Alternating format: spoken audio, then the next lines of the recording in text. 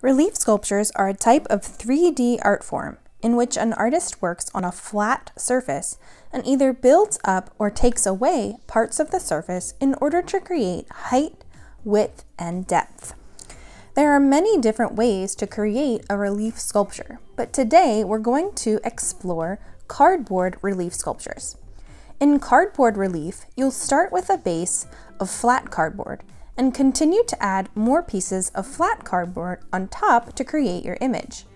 When you're starting out with cardboard relief, it's best to start out with very simple basic shapes that are easy to cut and glue because you'll want to give yourself some time to practice using cardboard cutters and the cardboard glue.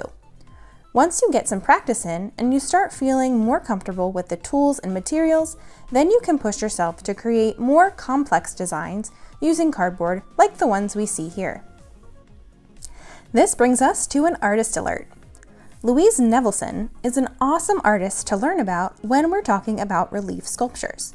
While she is not technically a cardboard artist, her art style is called assemblage, which is all about building objects up and putting objects together to create three-dimensional art that has height, width, and depth.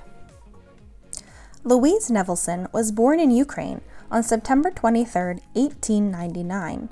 Her family moved to Maine when she was just a child. Her father owned a junkyard, and as a child, she enjoyed looking through the old junk to see whatever she could find.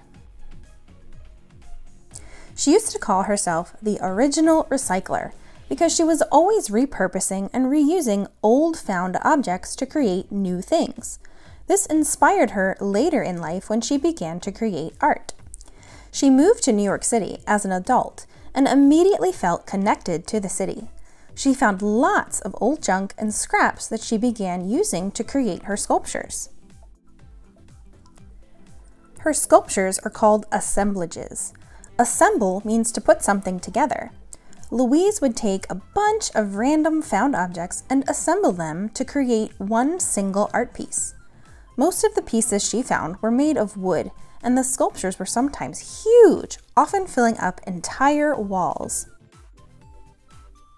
Something interesting about her work is that all of the pieces she used were completely different from each other, but once she put everything together, she would often paint her sculpture all one single color. When an artist uses only one color, it's called monochromatic. Why do you think she chose to paint her sculptures all one color? What do you notice about Louise Nevelson's assemblage sculptures? Compare it to the cardboard relief sculptures that we looked at earlier. What is similar and what is different? How could you use ideas from Louise Nevelson to create an interesting cardboard relief sculpture?